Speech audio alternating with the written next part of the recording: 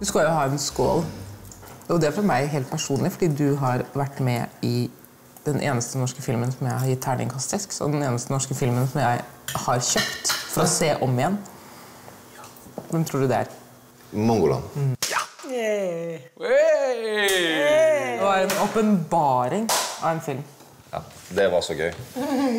Eh, Å få lov å være med på den filmen. Det var jo en eh, ganske liten del av den filmen. Men allikevel eh, så var vi en gjeng i, i Stavanger og jobbet på dugnad, egentlig. Altså det var ren den dugnadsånden der. Det var veldig kult å være med på. Men Hvordan kom du inn i det der Stavanger-miljøet, da? Nei, jeg fikk ikke jobb på Nationaltheatret. Eh, Så jeg dro til Stavanger. Til Rogaland Til. Rogaland Teater. For hun som var sjef på Nationaltheatret, hun mente det hadde godt av å dra til Rogaland Teater. Okay, Hvem var det? Det var Ellen Horn. Jeg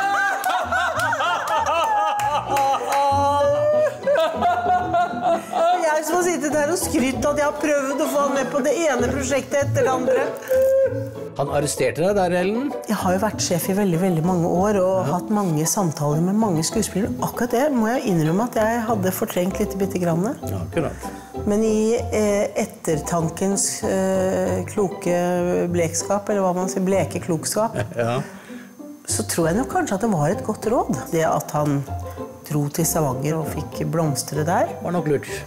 Jeg tror jeg var eh, ganske godt råd. I etterpåklokskapens klare lys. Nei, men Du hadde helt rett. Jeg var det jeg trengte Og... Skål for tilfeldighetenes spill. Som gjorde at Kyrre ble med i Mangoland. Ja, faktisk sant. Å, du verden. Skål!